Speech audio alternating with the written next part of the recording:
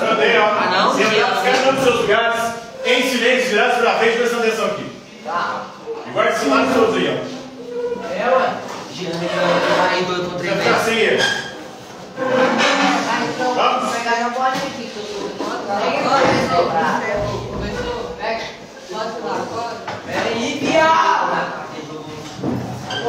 Pera aí, meu povo. Ó, vai tomar no cu, eu vou pegar ele. Ah, agora eu nem vou pegar ele. Cada um, eu preciso. Eu nem peguei. É, tá lá, tá certo? Vai. Vem pra frente.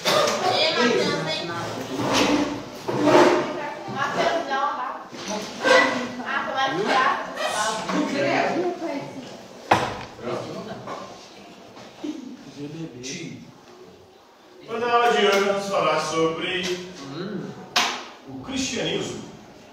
O cristianismo, que é a maior religião do planeta, tem mais de 2 bilhões de fiéis, e que tem um livro sagrado que é a Bíblia. A palavra de origem grega vem de livros que significam um conjunto de livros. Conjunto de livros que os católicos são 73 livros diferentes, 46 no Antigo Testamento e 27 no Novo Testamento. Para os evangélicos protestantes, são é, 39 no Antigo Testamento e 27 no Novo. Há uma divergência entre católicos e protestantes, porque os protestantes os evangélicos pegam o cânone do Antigo Testamento aceito pelos judeus. E para os judeus só eram revelados os livros do Antigo Testamento escritos em hebraico ou aramaico, aceitavam escritos em grego. Apesar de que o Novo Testamento é tudo ele em grego. Né? Não tem versões em hebraico e em aramaico do Novo Testamento. Todos os autores do Novo Testamento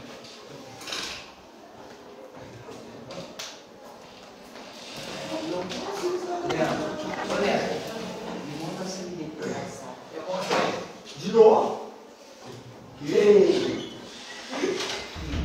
Então, os autores do Novo Testamento pelo menos as versões que chegaram até a gente são as versões em grego. O responsável por fazer a tradução do Antigo Testamento e do Novo Testamento para o latim, que foi a língua predominante da Idade Média na Igreja Católica, foi São Jerônimo. Né?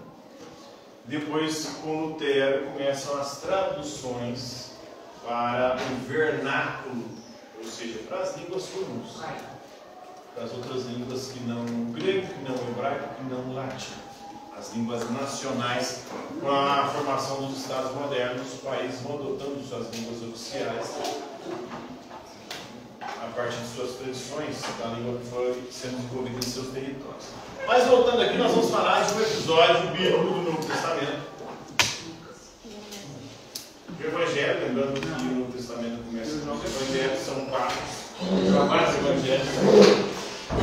Evangelho, palavra de origem grega, significa boa nova, boa notícia. É, vamos falar hoje do Evangelho de Lucas, capítulo 23, onde tem um episódio lá do ladrão arrependido. Então Jesus, quando ele é crucificado, ao lado dele estavam dois ladrões. Um zoou e zombou de Jesus, o outro se arrependeu, se converteu. E Jesus disse, hoje mesmo você estará comigo no paraíso. Apesar de que tem algumas incorreções e problemas teológicos aí, né? Porque, segundo a própria tradição, Jesus não foi naquele dia mesmo para o paraíso. Jesus ao morrer, ele desce ao inferno, ressuscita ao terceiro dia, depois de 40 dias que ele vai para o céu. Então tem um problema aí, tem um problema interpretativo gigantesco. A Bíblia é cheia desses problemas, né, que a galera que acredita, que tem fé, acaba fazendo um contorcionismo para justificar. Por exemplo, testemunhas de Jeová dizem que quando a gente morre, nosso corpo só vai ressuscitar com a volta gloriosa de Jesus no fim dos tempos. Então não há alma. E quando Jesus fala, hoje mesmo você estará comigo no paraíso, ele quer indicar o seguinte, o corpo dele não é ressuscitado lá naquele dia. Então a alma Então todos esses problemas teológicos existindo. Né? Ele fala, lembra de mim quando entrares no teu reino. Né? Então, que é tarde é um texto que mostra que para o cristianismo nunca é tarde para a salvação e a salvação não depende do que você faz. Então não é mérito seu, é graça de Deus. Então não é por seu esforço que você vai para o céu. Se a graça de Deus não te alcançar, não terá a salvação. Isso depende das suas ações. O ladrão se converte muito momento, está morrendo, não teria mais como fazer boa obra nenhuma durante a vida dele. Ele se converte. E mostra também que há uma série de outros problemas teológicos aí quando a salvação e a condenação para o inferno. Porque Jesus na cruz, sendo crucificado, o povo xingando ele, zombando dele. Ah, você não é rei de Deus, não desce aí. Não, de Deus, não faz milagre aí. Sai da cruz. Então o povo zombando e zombando ele. E Jesus falou, Pai, perdoa-lhes, pois eles não sabem o que fazem. Então, mesmo aqueles que zombam de Jesus serão perdoados ali, segundo o próprio Jesus. Então, temos aí, é, esse evento teria acontecido por volta do 29 depois de Cristo, no Gólgota, onde Jesus foi crucificado, né, uma colina fora dos muros de Jerusalém, a crucificação de Jesus. Então Jesus é considerado o Messias. O Messias, palavra de origem grega, aliás, de origem hebraica, Messias. O Cristo que é grego. Messias significa ungido. Aí os profetas eram ungidos também, né? Os reis eram ungidos. Tinha unção. Messias, Filho de Deus. Aí, o cristão, cristão é aquele que acredita que Jesus é o Filho de Deus, ou seja, é um só Deus em três pessoas: Pai, Filho e Espírito Santo. Aí a divergência, por isso que dá temos contradições. Mais uma vez voltando, os testemunhos de Jeová não grita que Jesus é Deus. Por isso nem poderiam ser chamados de cristãos, porque o cristão é acredita que Jesus é Deus. Então é crucificado pelas autoridades romanas no lugar do criminoso Barrabás. O Barrabás foi solto por quê? Vocês sabem? Por causa de um julgamento. Na Páscoa. Mas quem pediu para. Bons pilares foi o que falou, né? Geralmente eles soltavam na Páscoa um prisioneiro. Na igreja, no julgamento da igreja, a igreja escolheu Jesus. O povo que estava lá, falou: solta Barrabás, que era um assassino, um ladrão. E mata Jesus, que era inocente. Olha. E o povo continua sempre escolhendo os ladrão, né? O povo, quando ele tem que votar, ele vai sempre escolher o ladrão. Bolsonaro ou Lula, né? Os dois. Exatamente. Os dois roubam, mas só quem tem os trouxas, que acredita que um ou outro não rouba. Mas todos não roubam. Se os dois conseguiram chegar lá, porque é mala vagabundo. Né?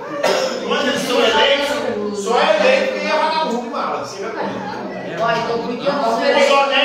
Conseguem nem chegar lá. Ô, professor, eu não sou eleito a presidente? Oi? Eu não sou eleito a presidente? Daniel, É, uai. Daniel, Porque eu acho Daniel. Se fumar vagabundo o suficiente, você consegue chegar lá. Talvez é seja assim, vida seja um marido, um vagabundo só. Se tornar um mala, um vagabundo de cacife, senta lá. Senta. É no lixo. Não, senta lá. Ei, Coisa feia. Então nós temos o ladrão arrependido, o criminoso que estava à direita de Jesus, embora não seja nomeado, não tem o nome dele nos evangelhos. Mas a tradição diz que o nome dele era Dimas. Tradições posteriores cristãs atribuem o nome de Dimas.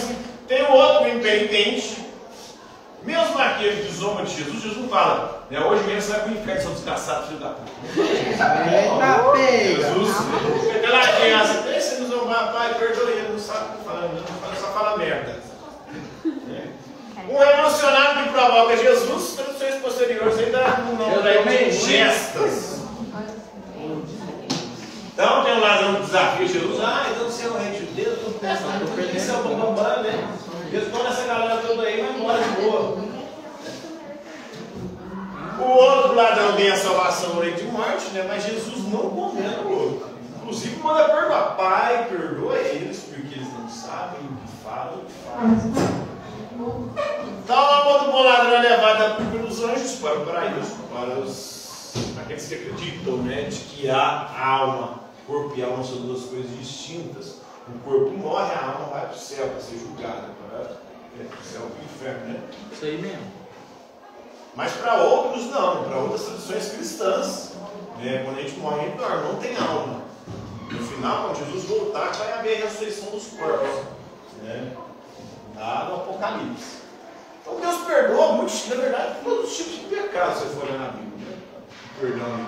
Tem uma mulher pecadora que é a prostituta. Deus perdoa a prostituição. O povo queria apedrejar, a lei mosaica mandava apedrejar a mulher. Deus falou que não tem pecado que atire A primeira pedra. Aí o português pegou um tijolo e mandou na cabeça da mulher e matou ela. Aí Jesus falou: Você não você tem pecado, não, português? Parece. Você não errou na sua vida, não, português?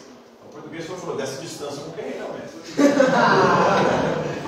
Então, É, mas também. os muitos pecados eram foram perdoados, aquele aquele pouco foi perdoado, Ah, pouco morto, né?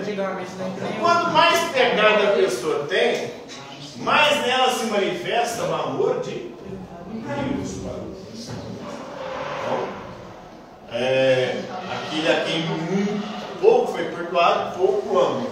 Aquele a quem muito foi perdoado, muito ama. Né? O coletor de impostos, que era o corrupto, é, o Zaqueu, o Zaqueu, você? Ei! Então Jesus foi à casa dele lá e falou, hoje vamos nascer na nossa casa. O Zaqueu que era corrupto, roubava o povo. Então até os políticos, que eles vagabundos sem vergonha, safados igual eles. Você falou que você queria ser político. Não, quer Ô, meu Deus, oi. É só porque o Eduardo chamou aqui e falou pro É o Fábio. Então, É, o tá lá. O coletor de impostos corrupto. Hoje essa fazenda tá nessa casa, porque esse homem também é filho de Abraão. Está lá em Lucas 19, 9. O ladrão arrependido. Ladrão arrependido é o que estava lá junto com Jesus, né? E era provavelmente amigo de Barrabás. Um grupo ali, um bando, uma quadrilha, né? Um Barrabás ali. Barrabás foi solto, os amigos dele foi condenado da morte com Jesus, né? Eu lhe garanto que você estará comigo no paraíso. Romanos e judeus na crucificação de Jesus. Todo mundo lá zoando Jesus, Jesus falou, Pai, perdoa-lhes, pois não sabem o que estão fazendo. Né? Crime e castigo na época de Jesus. Existiam vários tipos de crimes e de castigos. Né? a lei mosaica, no tempo de Jesus, tinha várias punições. A maioria delas eram punições de restituição.